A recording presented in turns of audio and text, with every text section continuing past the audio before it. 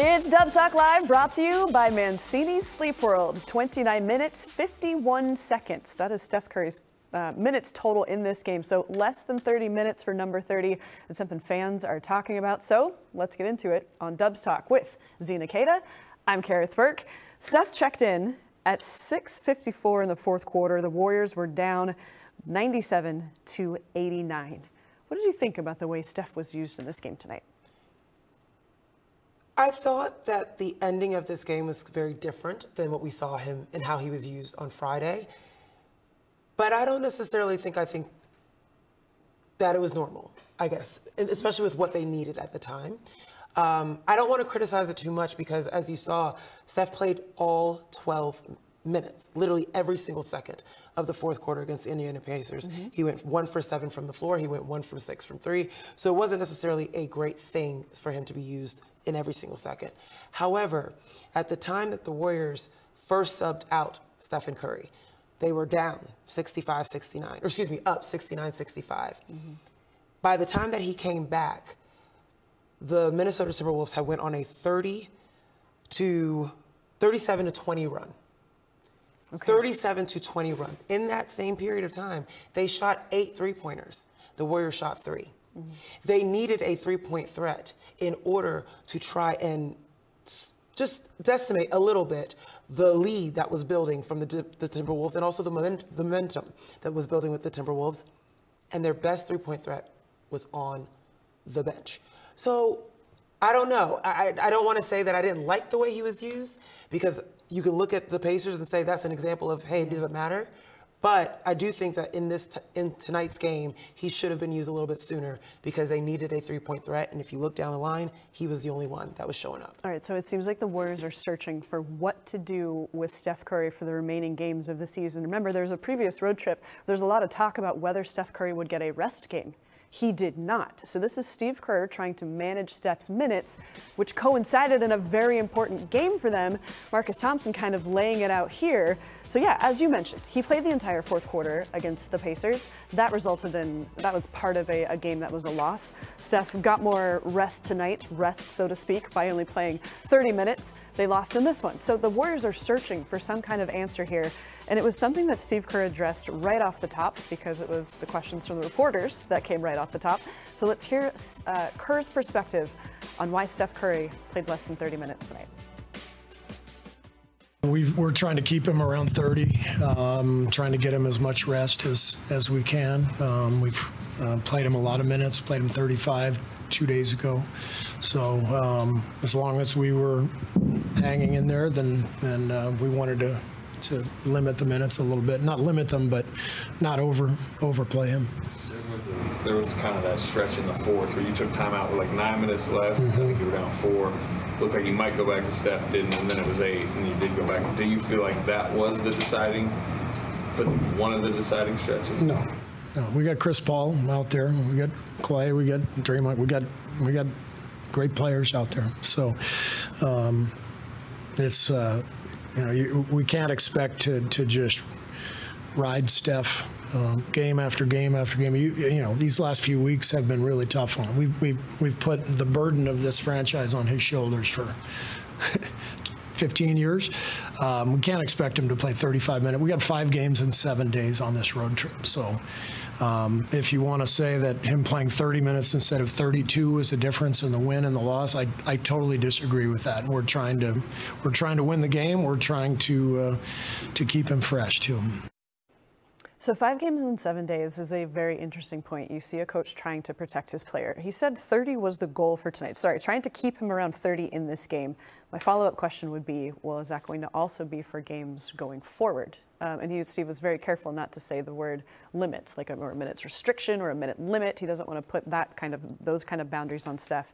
But it does seem like this team is going to have to search for how to use Steph Curry in these remaining games. He's so essential to what the Warriors do, but you see a pattern that they also don't want to wear him into the ground, and they, he's had a lot of burden on his shoulders for 15 years. I really do appreciate Steph calling. I mean, Steph, Steve, Coach Kerr calling that out. That that is a burden to carry, and you do want to protect a player like Steph that is so essential to trying to make a run for the playoffs playoffs for me, I really think it's about the players around him stepping up. You look at this game tonight, Steph had 31 points and no one around him had more than 20. This is a similar theme that we saw in the beginning of the season where Steph was carrying like the team like a backpack on his shoulders, not being able to find a secondary score or even a tertiary score.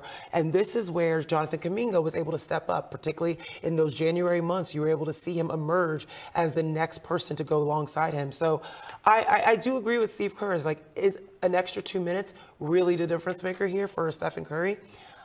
I don't know. You, we, we'll never know. But I know there a difference maker was in the minutes that he was sitting down. CP3 did step up, but not to the level that he, we needed or the Warriors needed, right? In the same breath that they were shooting eight three pointers, the Warriors couldn't match that. And so you can have CP3 pulling up, getting his, his, his mid range game going but there's still going to be a deficit because those are two pointers versus three pointers. Okay, we need to hear what Steph had to say because naturally reporters asked him about the same thing. You know, were you surprised that you sat so long in the fourth quarter? He said a little bit, but let's hear Steph's extended comments. It was me, obviously, comparing it to last game and the normal rotation. Like I want to play as many minutes as as I'm fresh and able to. Uh, so a little bit, knowing that they were just going on a run, um, it was the lead was kind of withering away. So, you know, we played the whole fourth quarter then the against Indiana didn't work out. This didn't work out, so we gotta find somewhere in the middle. Uh, you know, Steve has mentioned wanting to to keep you around thirty to thirty-two with you know how compact the schedule is, and really said how much a bur- of a burden you've had the last 15 years really with this franchise. I mean, I know it's a conversation we've we've had plenty, but I mean, can you only play 30 to 32 right now considering what's at stake? The uh, situation will define itself pretty clearly, and it is in, in kind of real time. So every game matters. You know, we're inching closer to the other end of the standings that we never thought we'd be in. So nobody's gonna wave the white flag and say, you know, you're you're mailing it in, and if that means playing more minutes, then I'll be ready to do that. I think Steph's ready to play. Uh, what did he say? That the situation will define itself pretty clearly, and it is in real time. Every game matters. That answer right there, very diplomatic, very mm-hmm. Steph Curry says. He's not going to play 30 minutes going forward. Steph doesn't show his cards easily, mm-hmm. and he's incredibly, like you said, I like the word you used, diplomatic. Mm-hmm. Um, and intelligent in the way that he evaluates these situations. But Stephen Curry knows his ability. He knows his limits. He knows his max. If there's anybody that knows his body better than Steph, it's, it's Stephen, mm-hmm. right? He knows exactly what he's capable of. And so I, I thought his use of words of the situation will reveal itself um, were very ominous in a way, but it's something to keep an eye out because when you get to a point in this season, in a season like this, where he also mentioned that they're trending towards a part of the, the layout of the playoff games that they didn't think they'd be in, in the sense of being in that 10th spot and solidifying their position in that 10th spot and kind of making the, the play for the sixth seed a distant, distant dream. You're seeing that as they get closer to the end of the season and they're just trying to make sure that they stay in the 10th spot yeah. to even be in the conversation, that the situation will reveal itself and that I'm going to want to play that's my opinion. That's what I think that he's trying to insinuate there is that I'm going to want to play. Mm-hmm. I'm going to want to do whatever I can for my team to be able to get us there.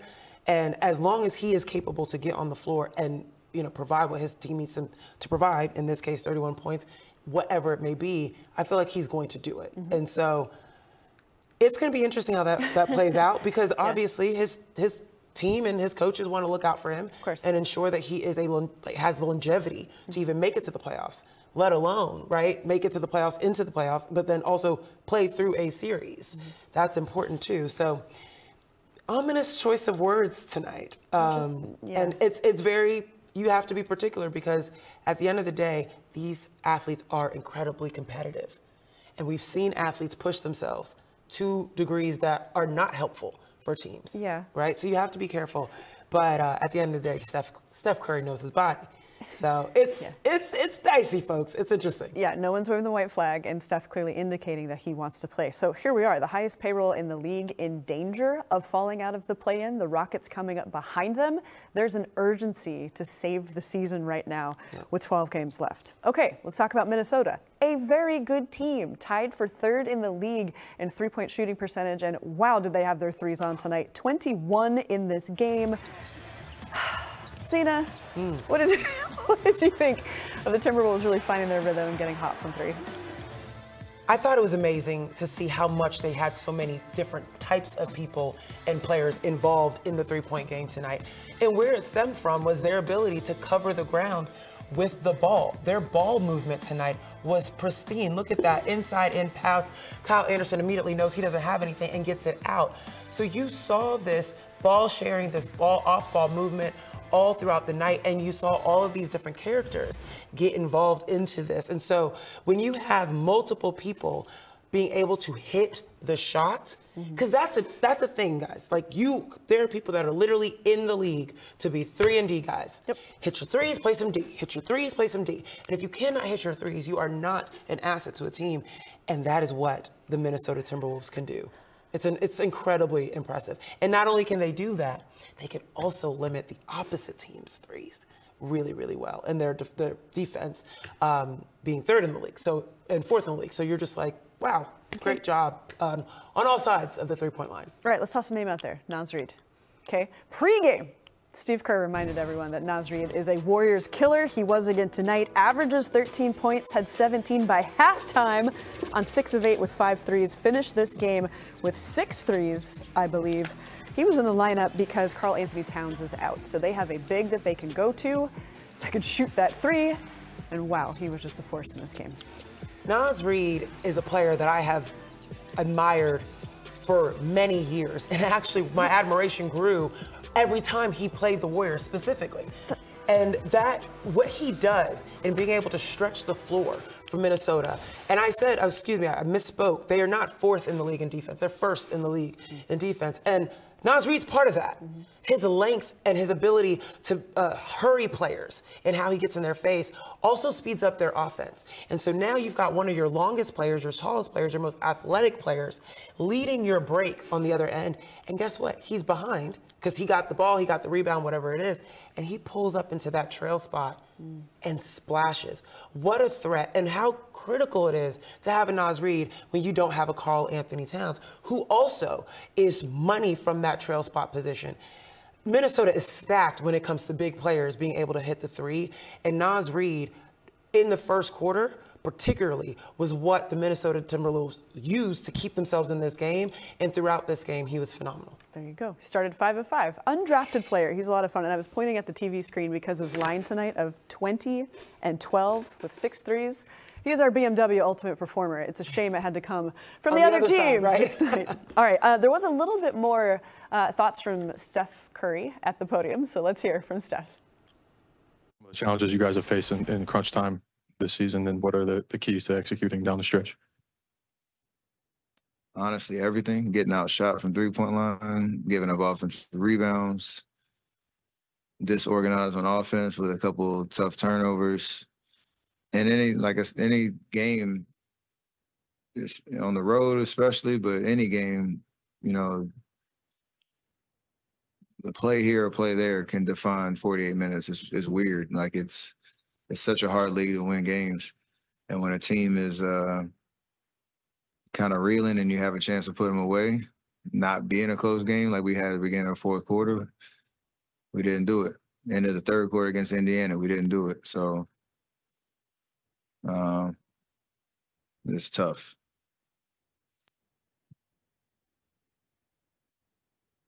Steph, every year, well, many years, the Warriors have been at the top of the West. When you look at the West this season, do you see it as being a deeper conference than it's been in years past, or how, how do you look at this? No, for sure it is from top to bottom. You got the defending champs, you got Minnesota, you got OKC, the young young guys on the map, and then you got the uh that next tier of teams that have had playoff experience and trying to get to that next level. Got us, and you know, down the way we're we're surprised that we're here, but we still feel like we're capable of beating anybody. So everybody has talent. Everybody has something uh, that they built their identity on, and is is a very competitive landscape, and it's going to be interesting to see how it all shakes out. But we want to be in that fight. Okay, there's the spirit. The Warriors still want to be in the fight, although the fight feels like it keeps getting tougher. Who else could handle tougher mm. than those three? You think about the, the pillars of the, the Warriors and Steph, Klay, and Draymond, and then obviously everyone else they've added since then. I do think they still have a fight, and they have the talent capable, mm-hmm. right? You saw what they were able to do tonight, even keep a lead. They just got to close the games. Mm-hmm. That's what they got to figure out. All right, let's take a look at the standings when we come back on Dubs Talk Live, brought to you by Mancini Sleep World, because it does feel like the West is getting better. The Warriors right now 36 and 34. We will also touch on the bench effort this evening, and that man right there. We'll be right back.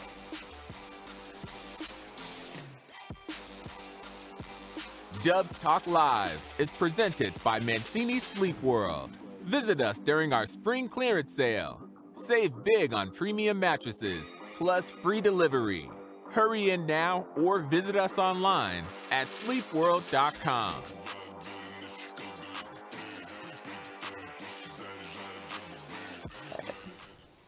Hey everybody, thanks for tuning in on YouTube. The usual faces in here, Otis, Arjun, Bree, Manny, Olup, uh, Kat, Vince, what is up my friends? I think a lot of people are trying to figure out, is the season over? I think the Warriors are sort of trying to figure that out too. They still have some of that competitive spirit. You can see it when Steph is talking.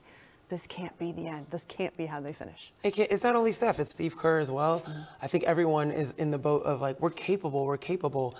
And that's what's tough when you know you're capable, you have the talent, you've got the, you've got the pedigree, you've got the history of being able to still pull it out and figure a way to get it out. It, it just makes you, it, it makes it harder to accept when you're okay, maybe it's time to lay it down. Yeah. And I'm not saying they should lay it down, but in this in the sense, I, I, I think that it's going to go literally all the way up until April 14th or whatever their last game is, of where they're like, okay, maybe now it's time to lay it down. You know, they've they've got some belief in them, and I I, I yeah. I appreciate it. Right. Can I just ask, hey, do we have any more sound left? Do we have any more Draymond?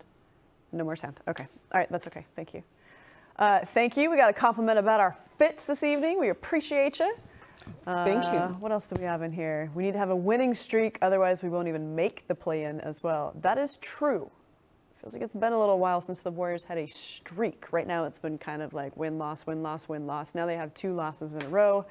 Longest longest win streak of the season was five games. Yeah. They did that twice, but that feels very far away. And that's what you need in order to build up momentum. You need a streak. You need to be able to prove to yourself that your routines, your habits, your everything that you do in order to be great is working. Mm-hmm. Because imagine you do the same thing all the time. Steph already said this this season. Yeah. Same thing every day, no different results.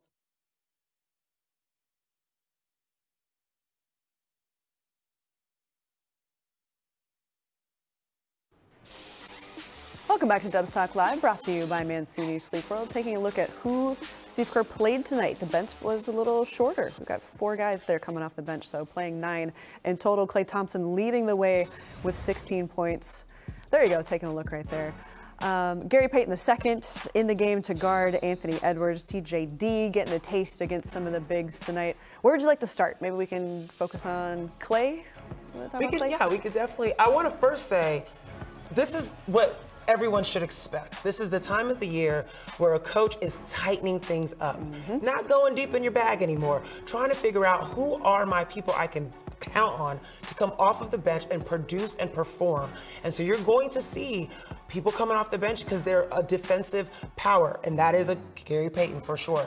You're look, you're going to see someone that can come off the bench and calm and direct the offense. That's a Chris Paul for sure. You're going to see people come off the bench to spark the offense. That's a Klay Thompson for sure. So you're seeing, okay, these are the people that they want to build around. Now, the interesting part is now, how do those four people that you're going onto the bench to find fit in with the starters?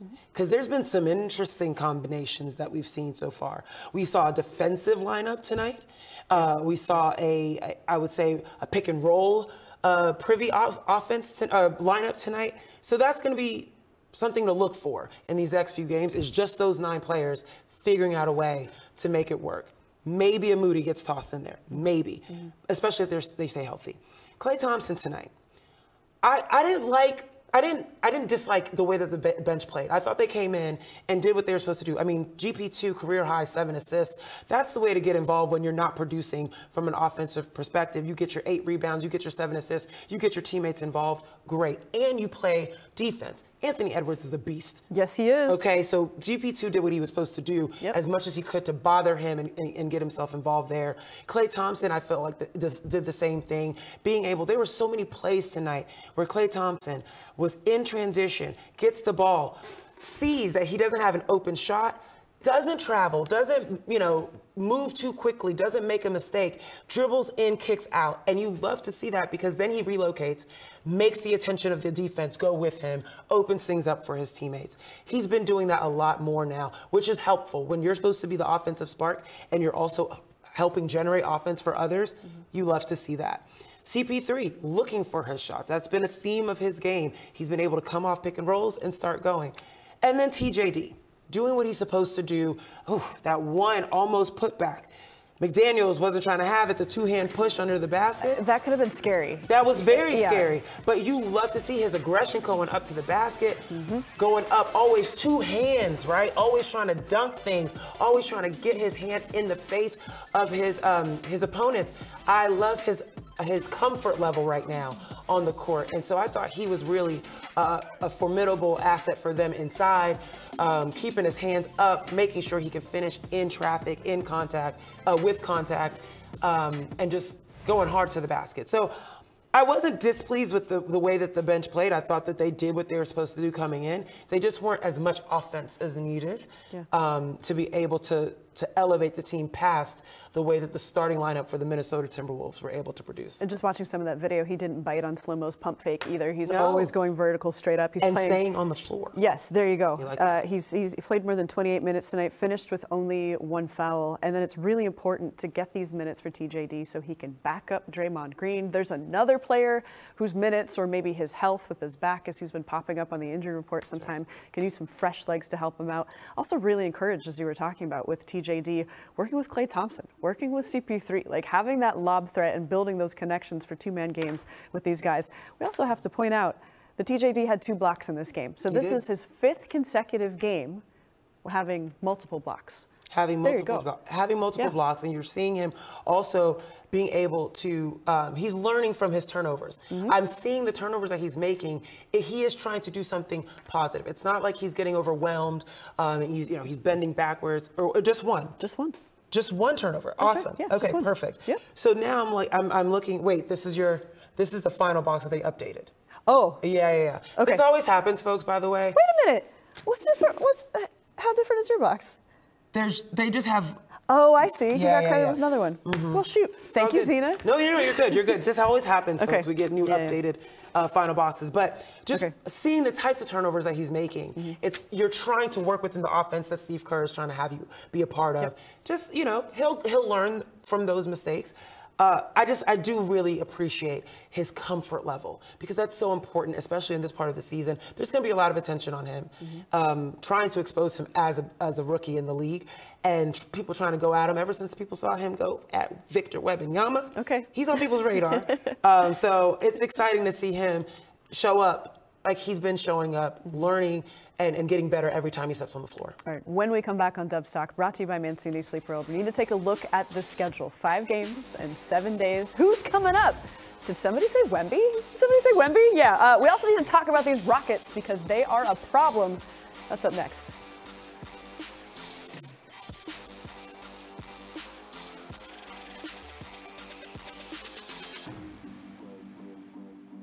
That drives me nuts. I know. Okay, so they added, he had two turnovers. One was credited to him or a team? So We're looking at TJD, TJD two turnovers. or two block shots. Oh, two block shots. Or Only one? one? turnover. Only one turnover. Do we have the same? Oh, maybe we do. Yeah. Where's he at? Look. Wait, Two block shots, one turnover. And three steals. three steals. We missed that part. Yeah.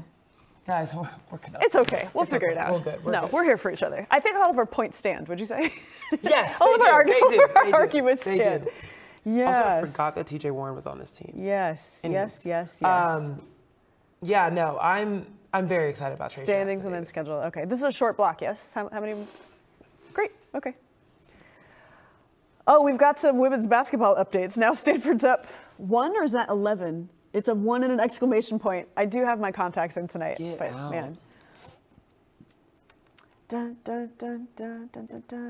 Oh my God! How many how many points does Lottie Crooks have? Oh yeah, it was Crooks versus uh, Cameron Brink. Brinks, right? Yeah, Brink, Brink, singular Brink. Cameron Brink. Yeah, yeah. I always say Brinks like Brink. I do truck. too. My bad. Dun, dun, You're welcome, William. Okay, they, they're they're keeping her well. I know. Only got five. Okay. Kiki. 12 games left. Man. Very much so. Yeah, this mm, season Very much so a s- Man. With a deep breath out. Strange one. Yeah. I feel like, okay, so the first four months of the season.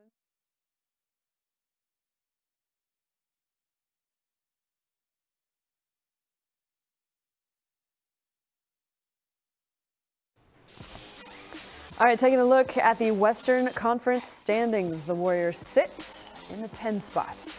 It is more tenuous by the day because the Houston Rockets are creeping. They've won 10 of 11, then they've won their last eight as well. Uh, the Warriors will play the Rockets later in April. So here's a look at what's coming up right now. Okay, so the Warriors are leaving snowy Minnesota.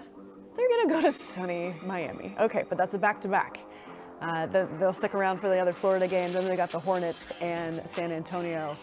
Um, man, okay, lots of games, lots of days at a time when the legs seem to be getting getting a little tired. Steph Curry might even need a little bit of rest. They're trying to find it within games. The fact that he's only playing about 30 minutes.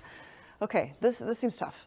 It- yeah. And look at exactly who they're about to play back to back, you're talking about youth and athleticism.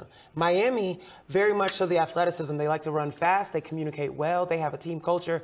Heat culture is real, and they have it on the court. They move well um, with each other, and then they have an athletic, they have athletic guards and athletic big. And whenever you have both, you're gonna be tired. Okay. Then you turn around, you play Orlando. The youth on that team and the athleticism on that team mm-hmm. is not to be slept on. And so they're they're in for some, two back-to-back games that are going to demand a lot of them. And what happens when you're tired? It's hard to focus on those little things. Yeah. And that's when they really got to dial in. Okay, well, a storyline going forward. Steve Kerr saying they're trying to win these games and trying to keep him fresh too. Him being Steph Curry. I understand what they're trying to do. That's a hard balance. I'm not sure that they can do both. So, what side are the Warriors going to land on? Well, the Warriors are trying to make sure that they uh, don't fall out of the play in, which is a crazy thing to say, but the team with the highest payroll in the league. Thanks for watching Dubs Talk Live, brought to you by Mancini Sleepwear.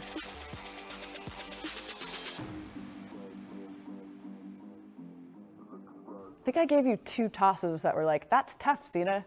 Yep, sure is, KB. no, I don't. I don't remember them. I thought they were fine. All right, good. Oh my gosh.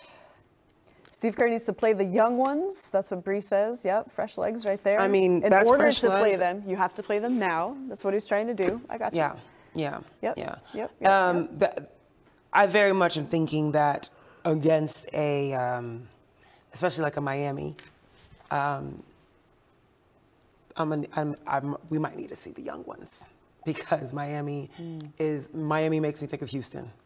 Okay. Um, Miami makes me think of a lot of guys that have points to prove, and that also have verticals that are ridiculous. so who, who are we talking about? So you want to see thinking- Moses? You want to see Lester? I want to see. I particularly want to see Moses. Okay. Um, and I'd be very interested to see Gee against particularly a, a Miami. Um, I think that anytime you have an ability to run, I think the Indiana Pacers were a really, really great litmus test in being able to see how can the Warriors keep up with a team that has high pace, especially offensive pace. Mm-hmm. And this is what the Pacers have done all season. They had won against that already. They had found a way to deconstruct that, and yet they weren't able to do it at home. And so now it's like, okay, well, they've had more success on the road. Perhaps they'll be able to do the same thing in terms of deconstructing fast pace in a Houston Rockets. Well, later on in April, but coming up with the Miami Heat and with um, the Orlando Magic. So I think a Moses Moody, someone that can, you think about people that can grab rebounds and go Yeah. right? Moses Moody is a guard that can grab a rebound and push. Gui Santos is a guard that can grab a rebound and go. That speeds up everything, as opposed to someone that has to grab the rebound and outlet, or grab the rebound and um, figure out a, a primary ball handler, someone that will, needs to pass it to Steph or needs to pass it to, to, um, to CP3, which they don't have a ton of, but you like to see it out of uh, Moses and Gui for, for sure. You want to see some coast to coast stuff a little I, bit, I or a little I'd bit more love, transition? I'd love to. Just a little bit more transition. Yeah.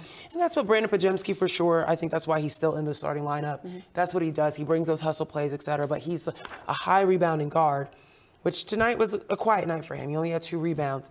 Um, but that's what he can do, Yeah. is that he can rebound and go. And that means Jonathan Kuminga doesn't have to wait for anybody. Andrew Wiggins doesn't have to wait for anybody. They can run the lanes with him. Mm-hmm. Um, Those two can outrace anybody.